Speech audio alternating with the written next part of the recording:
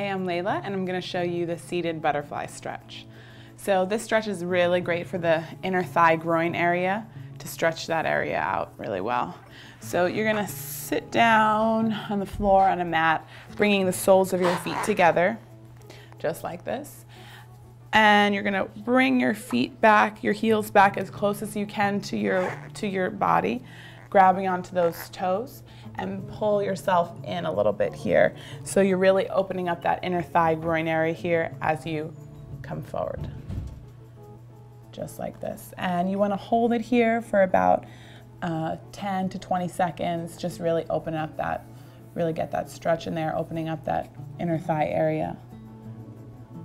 You can also just sit up nice and tall and shake out those legs this way to loosen it up if this stretch is too much. Sometimes this, if you have really tight inner thighs, um, this stretch is a little bit too much. So just sitting up tall here, holding onto those toes and fluttering those legs like a butterfly, up and down just like that, to really loosen up that inner thigh area.